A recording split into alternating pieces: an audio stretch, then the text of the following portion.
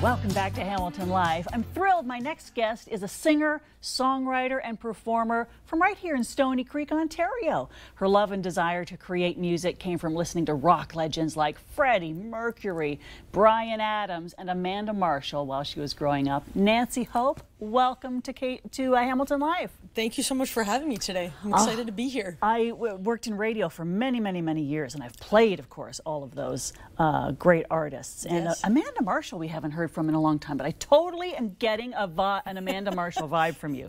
A little bit of the hair, maybe give it away, but yes. And how yes. does that come through in your performances? Not just the hair. How else do we see Bryan Adams or Freddie Mercury or Amanda Marshall come through? Absolutely. Well, for me, not only performing, but in the lyrics that I write in my music. So, like those artists, that's kind of why I gravitated to them at such a young age because they had music that was inspiring, it was timeless, and it kind of made you feel like you could take on the world. So, I definitely write songs that are kind of like a stadium anthem slash, I would say, like a heartbreak ballad, I kind of call them. And I really just bring that energy when I perform, but it's really in the music I write that has resonated with me, that music, and now into my own. Well, we're going to get a taste of that in a minute. Yes. I can't wait.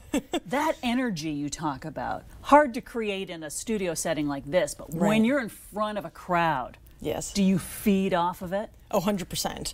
And that's probably my favorite thing about performing is the audience because you get to feed off of each other and you're there to connect with them, right? And that's my job as a performer and really just as a person. Yeah.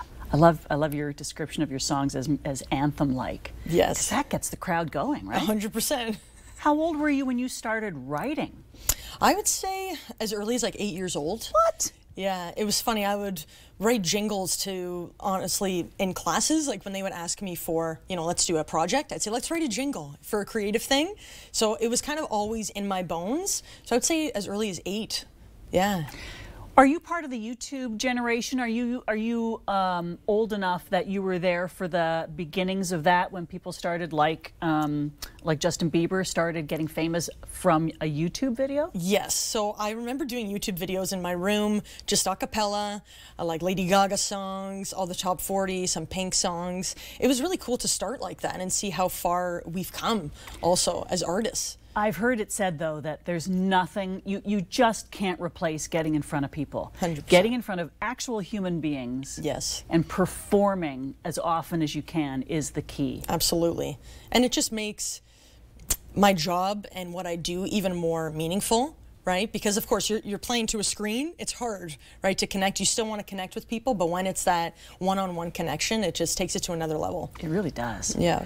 And then, uh, as we were saying before, it's that ex energy exchange. You're yes. putting it out. Yeah. They're loving it. Yeah. they're giving it right back to you, and it, it's it's almost it's thrilling, isn't it? It is. It, it really is. So you're already writing mm -hmm. uh, at eight years old. Had you picked up the guitar by then? Actually, I picked up the guitar later. So I started with piano when I was about five years old. My parents got me into lessons. It's a great place to start. Yes, right. Kind of get a feel for music if you like it. But it's funny, I didn't really stick with it. I just I wanted to do so many other things. I played sports too, so I wasn't as dedicated when I was younger. But then I revisited it and I started guitar when I was actually 16. Yeah you play. I heard you practicing play like you've been playing yeah. forever. when did you know? Okay, I, this is what I have to do in my life. There's mm. just no question about it. When did you know that? I would say, as crazy as it sounds, I knew it at a young age that it was like an inner knowing to know that this is all I'm meant to do in my life. It was a feeling that I felt so alive performing and I had a voice even at a young age. But I would say like professionally, I want to do this. I was about 16 years old performing in high school on stage singing a Pink song. I remember and I thought. That's a challenging song. Oh yeah, the song Perfect by Pink, if wow. you've heard that one. Yeah, that was um, a great memory of mine. And I remember being on stage and saying, this is what I want to do for the rest of my life. Did you get any um flack from family members or friends?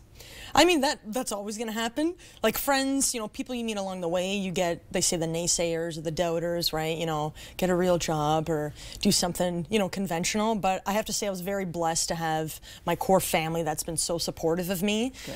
And my grandparents and they've been huge supporters and I really inherited a lot of my music genes from them on my mom's side of the family. So your song that are we going to hear that song today? I, which one are we hearing? I don't know. You've got a song coming out in June. So I have one coming out, uh, which is probably one of the most vulnerable songs I've written, which I'm very excited about. I wrote it back in 2021 with uh, Kayla Diamond. She's a Toronto producer and uh, songwriter. And I also released a song in uh, October 2023 called One in a Trillion. Oh. Yeah, so that's an anthem, and then we have a ballad. So, which one are we going to hear today?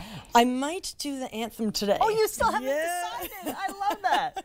Okay. Keep them guessing. The anthem. I can't wait. Yes. So, um, hey, if you're ready to go, can yeah. we just go over there and hear you right now? Let's do it. Oh, I would love it. Nancy yeah. Hope, come on. Let's do it. We've got you all set up. All right. All right, take it away. The okay. stage is yours.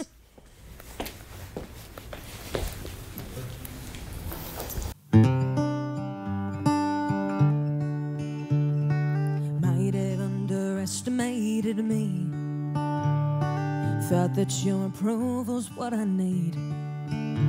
When I look into the mirror, strength is staring back at me. Now I'm finally liking what I see told me I was wrong when I was right. Put me in a box, but it's too tight. If I'm breaking, then I'm building, and I won't apologize. I won't ever let you dim my light. Cause I don't need saving you try to take me down. Yeah, go on and hate. Me, but I'm out. I won't let you win this round. I stand my ground, cause I, I'm resilient, and I, I'm nothing but brilliant.